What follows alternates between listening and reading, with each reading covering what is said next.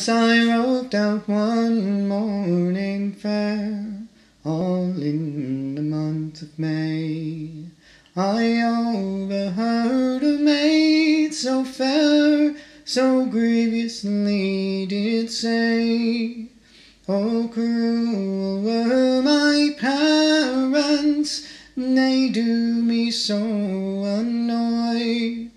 For they would not let me tarry with my bonny labouring boy. His cheeks were like the roses red, his eyes as black as snow. He was meek in his behaviour wherever that he goes. He is well sized, both neat and wise, like a maiden's chastity. If I had my will, I still would be in my love's company.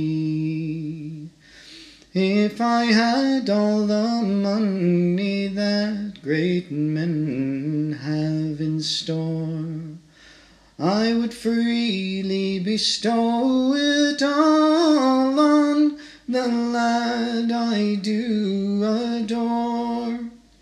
His beauty so enticed me, the same I'll never deny. In the arms of my bonny boy, I'd like to live.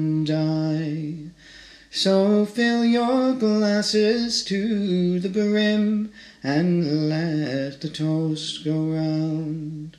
Here's a health to every labouring boy who ploughs and harrows the ground. For when his work it is over, it's home he'll come with joy. And happy is the girl that gets a bonny boy.